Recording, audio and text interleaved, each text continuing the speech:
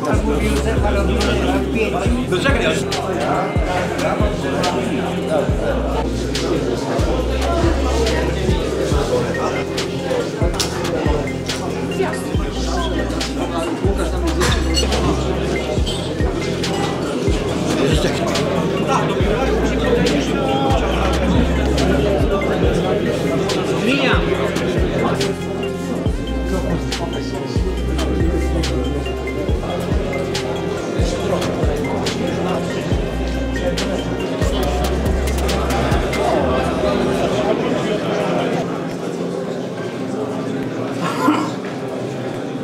serdecznie wszystkich obecnych delegatów Podkarpackiego Związku Piłki Nożnej na zebraniu sprawozdawczo-wyborczym Podkarpackiego Związku Piłki Nożnej.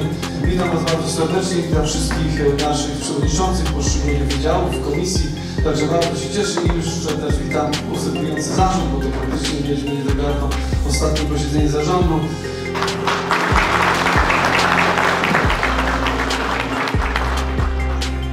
Ja Panie Prezesie dziękuję, witam wszystkim. Poniżej są guziki decyzyjne i tylko, że nas interesują te trzy kolorowe, tak? Czyli zielone, kiedy jesteśmy na tak, czerwony, kiedy jesteśmy przeciw danej uchwale i żółty, kiedy się wstrzymujemy.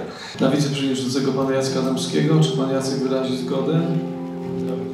Dziękuję. I na sekretarza pana Sławomira Ferenca. Wyraża Sławek zgodę? Dziękuję bardzo. Dzisiejszy zjazd, proszę Państwa, postaramy się przeprowadzić tak sprawnie.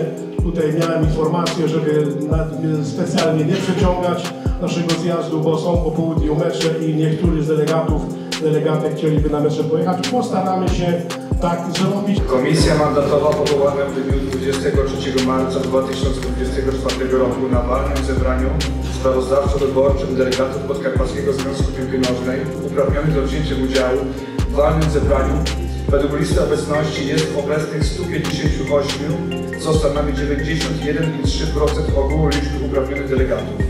Komisja stwierdza, że walne zebranie jest władne do podejmowania prawomocnych uchwał i decyzji, w tym uchwał o zmianach w statucie Podkarpackiego Związku Piłki Nożnej w pierwszym terminie.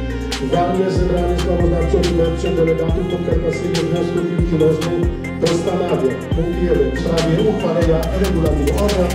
Proszony jest o naciśnięcie przycisku. Rozpoczynamy głosowanie. Kto jest za? Niejednokrotnie trudnych dla nas chwile, jak już wcześniej wspomniałem, kiedy żeśmy podejmowali różne decyzje, jeśli chodzi o prowadzenie rozrywek. Nie musisz przyjść, pomóc, jeszcze więcej, może masz, my to wszystko zapiszemy i gwarantujecie, że jeśli będą te dobre inicjatywy na Podkarpackiego Związku, na Podkarpackiej Piłki, ja je wszystkie zrealizuję.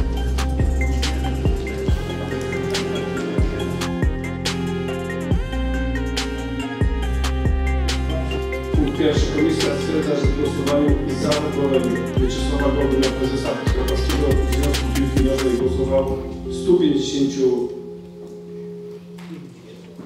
151 delegatów.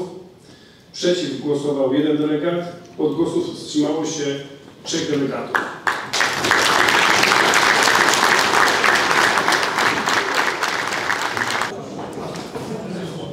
Tak jak sobie policzyłem na szybko, to Mieczysław Golba dostał 98%, czyli cieszy się bardzo dużym zaufaniem i jeszcze raz prezesowi Podkarpackiego Związku Piłki Nożnej gratuluję przedłużenia funkcji prezesa Podkarpackiego Związku Piłki Nożnej.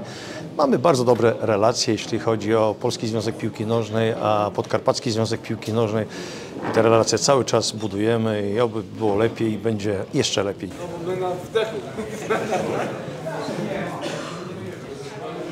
To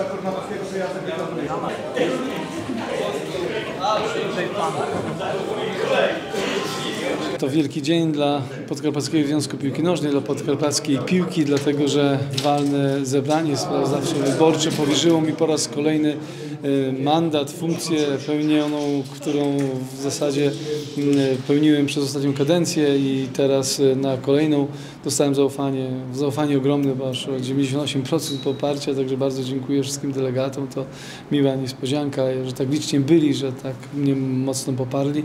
Także bardzo serdecznie im jeszcze raz dziękuję i będziemy robić wszystko, żeby jeszcze lepiej związek rozwijać, żeby lepiej jeszcze działać dla dobra naszych klubów, podkarpackich klubów od B klasy do ekstraklasy.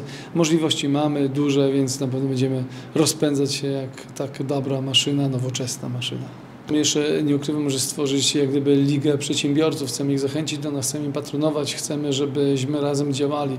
Chcemy również jeszcze rozwijać, prawda, Oldboy dla wszystkich. Chcemy wprowadzić turniej dla dzieci i młodzieży, piłka dla każdego, tak żeby każdy uczestnik z takiego turnieju pojechał z piłką. Chcemy Dzień Kobiet z piłką nożną wśród pań. Chcemy w tym dniu w szczególności też zorganizować jakieś fajne turnieje. Mamy już fajne miejsca wstępnie zarezerwowane i to też będziemy chcieli pokazywać, że też stawiamy na panie, jeśli chodzi o piłkę nożną.